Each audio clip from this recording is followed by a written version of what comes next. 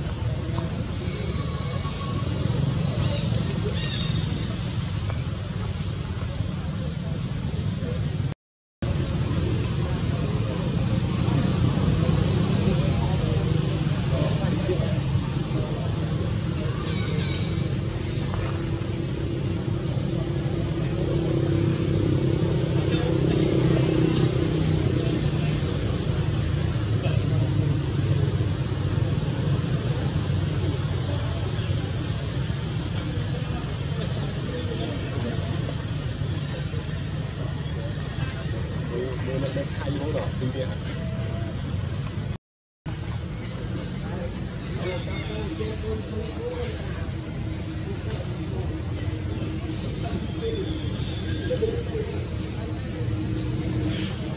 thoát nó thôi à, tí thoát